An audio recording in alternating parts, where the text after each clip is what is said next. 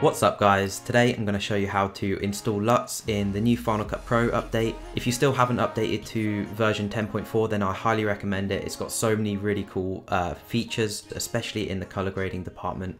So the first thing I'm going to do is add an adjustment layer. Adjustment layers are really cool because you can add color correction to your whole project and not just to your clips individually. I'll leave the download link for the adjustment layer down below if you still haven't got it. It's a title plugin. So I'm going to go up here to titles, uh, adjustment layer, and I'm just going to drag that over my footage. And then to this adjustment layer, I'm going to add the new effect that Final Cut Pro have added. So over here in the effects tab, go to custom LUT and I'm just going to drag that onto my adjustment layer. And then up here, to install LUTs that you've downloaded, all you have to do is click on this drop down menu, go to choose custom LUT, and what you can actually do is choose separate LUTs or choose folders which have LUTs in. I recommend organizing your LUTs into folders because it will organize them really well in the custom LUT drop down menu.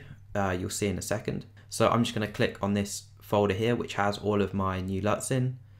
I'm going to click open and that is automatically going to add them to this drop down menu. You'll see why I said put them in folders because now it's got this whole folder in here with all, all of these LUTs. So now all I'm going to do is select my LUT right here.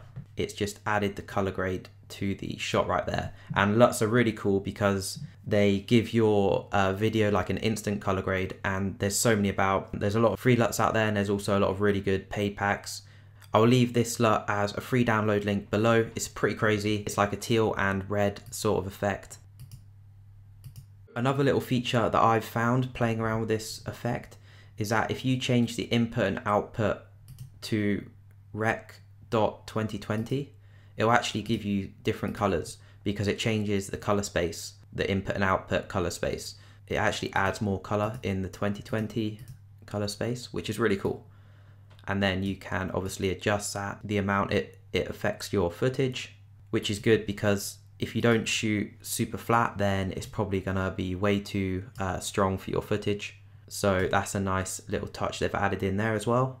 And you can actually keyframe this as well which is pretty cool. So if you wanted to show before and after then you could turn it down to zero put a keyframe move along and turn it up to one.